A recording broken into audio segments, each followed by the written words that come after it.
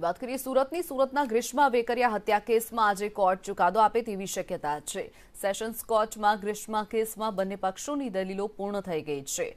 Court દ્વારા હત્યારા ફેનિલ ગોયાણીને કડકમાં કડક સજા કરવામાં આવે તેવી શક્યતા છે. આ કેસની સુનાવણી દૈનિક ધોરણે કરવામાં આવી હતી. તેની તપાસ માટે સ્પેશિયલ ઇન્વેસ્ટિગેશન ટીમ બનાવવામાં આવી હતી. તેના દ્વારા બસો પચાસ પૃષ્ઠોની ચાર્જશીટ દાખલ કરવામાં આવી છે. હત્યારા ફેનિલ ગોયાણીએ જાહેરમાં ગ્રીષ્માનું ગળું કાપીને હત્યા કરી હતી. તેના સંદર્ભે એકસો નેવુંમાંથી એકસો પાંચ સાક્ષીઓને તપાસવામાં આવ્યા હતા. મહત્વપૂર્ણ છે કે હત્યારા ફેનિલ ગ્રીષ્માને એકતરફી પ્રેમ કરતો હોવાથી તે લગાતાર ગ્રીષ્માનો પીછો કરતો હતો. પરંતુ ગ્રીષ્માને આ વાત પસંદ ન હતી. તેથી તેને આ અંગે પરિવારને જાણ પણ કરી હતી. બારમી ફેબ્રુઆરી જ્યારે ગ્રીષ્માના મોટા બાપા અને તેના ભાઈ ફેનિલને ઠપકો આપવા ગયા, ત્યારે હત્યારા ફેનિલે તેમની સાથે મારપીટ કરી હતી.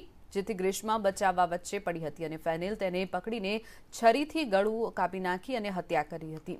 સોળ એપ્રિલના રોજ કોર્ટમાં આરોપીના વકીલ ફેનિલ ગોયાણીના વકીલ કોર્ટમાં હાજર ન રહેતા કોર્ટે ચુકાદો અનામત રાખ્યો હતો અને એકવીસમી તારીખે આ મામલે કોર્ટ ચુકાદો આપશે. પોતાનો ગત સુનાવણીમાં બચાવ પક્ષના વકીલ કોર્ટમાં હાજર નહીં રહી શકતા ચુકાદાની સુનાવણી ટળી હતી.